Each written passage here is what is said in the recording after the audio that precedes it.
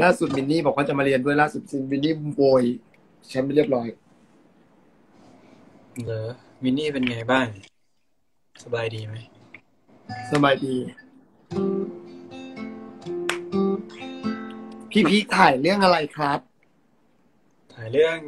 เอ่อ My Quarantine Days 14 วันฉันไม่เปลี่ยนครับ มันเป็นเนื้อเรื่องประมาณไหน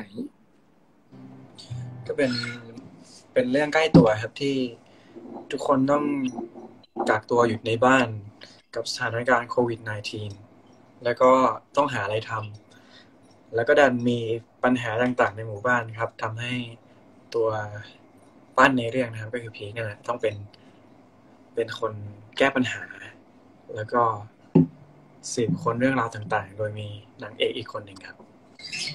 อืมนางเอกเป็นใครอะ เอ่อเขาชื่อว่าตังตันนะ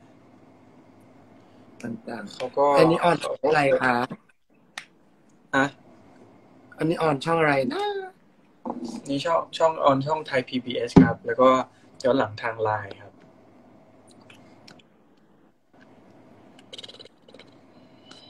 ยากที่สุดของเรื่องนี้คือยากที่สุดคืออะไร ยากที่สุด เล่นยากที่สุดของเรื่องนี้คืออะไร เล่นยากที่สุดเหรอไม่มี มั่นอยู่นะ ตอนนี้มันยังมันยังไม่